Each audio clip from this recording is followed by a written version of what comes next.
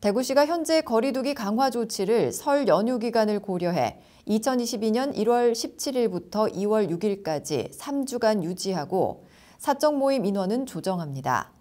다만 최근 4주간의 고강도 거리두기 조치로 시민들이 느끼는 피로감과 자영업 소상공인들의 생업 등을 종합적으로 고려해 사적 모임 인원은 접종 여부와 상관없이 6명까지 허용키로 했습니다.